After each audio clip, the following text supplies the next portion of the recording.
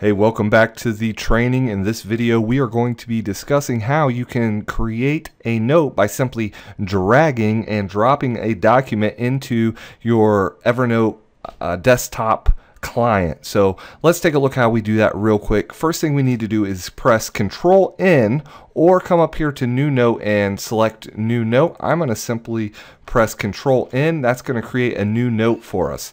Now what I want to do is locate the document I want to drag into the Evernote client. In this case, it's going to be this Word document right here.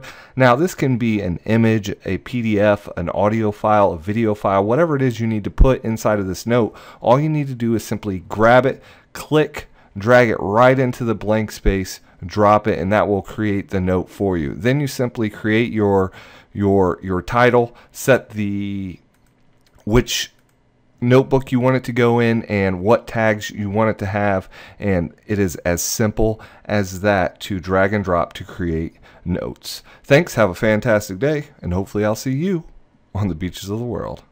Hey, thanks for checking out our Evernote training. If you want more, click on the link that's in the description below and you can get access to exclusive training that's actually not here on YouTube. Also, if you could click that subscribe button, that would really help us out. Click that like button if you liked it and share the love.